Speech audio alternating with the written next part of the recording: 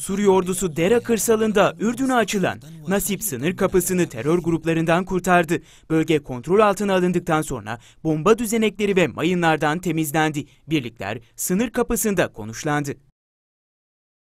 Sana muhabiri Dera'da teröristlerin kentlerde ciddi anlamda yıkım ve tahribe yol açtıklarını belirtti. Amerikan destekli grupların yaklaşık 3 yıl önce ele geçirdiği Nasip sınır kapısında arama tarama operasyonları sürüyor. Ordu birlikleri bölgelerde konuşlanmış durumda.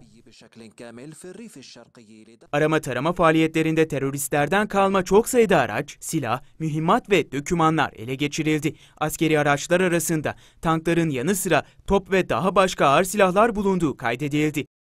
Suriye hükümeti tüm vatandaşlarına normal bir yaşamı yeniden sağlamayı amaçlıyor.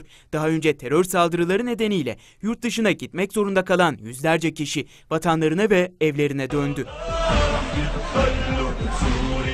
Şam kırsalı Kalemun bölgesinde Lübnan'a açılan Zemrani sınır geçidinden dönen vatandaşlar Şam kırsalında beldelerine ve evlerine ulaştırıldılar. Geneli çocuk ve kadınlardan oluşan onlarca aile terör ve destekçilerine karşı zaferden dolayı orduyla gurur duyduklarını vurguladı.